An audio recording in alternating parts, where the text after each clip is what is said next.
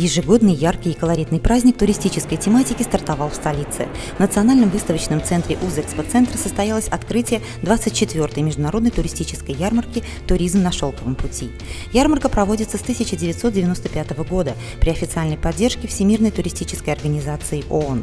В этом году свое участие в ней подтвердили компании Королевства Таиланд, Египта, Сингапура, Малайзии и многие другие. Свой яркий и колоритный стенд показали и представители Ташкента, где наша столица предстает перед нами нами в трех временных эпохах – прошлый, настоящий и будущий. Отметим, что в этом году наблюдается положительная динамика развития туризма в нашей стране. В частности, за 8 месяцев этого года количество иностранных посетителей составило около 3,5 миллионов человек, что почти в два раза больше, чем за аналогичный период прошлого года. Мы впервые в Узбекистане э, предоставили для иностранных туристов и для местного населения единый туристический портал.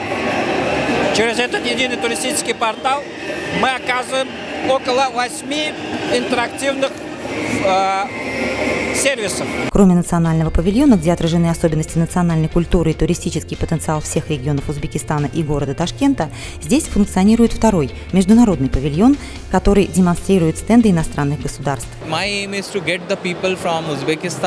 Наша задача – сделать Узбекистан привлекательным для наших туристов, равно как и рассказать ташкентцам о достопримечательностях Индии, Тадж-Махале, наших храмах и пляжах, говорит представитель Индии. Шелковый путь в истории – это уникальная культурная ценность для всего человечества, связующее звено в развитии туризма, экономики и социально-культурного преобразования всех стран. Особое место в их ряду занимает Узбекистан, который по праву считается сердцем шелкового пути. Начавшаяся сегодня ярмарка, несомненно, укрепит нашу страну в этом статусе.